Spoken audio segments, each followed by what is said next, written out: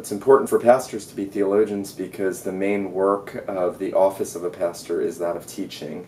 It's interesting, even though the Apostle Paul only puts one gift set in the qualifications for an elder apt to teach, and the rest are moral qualifications uh, or holiness qualifications.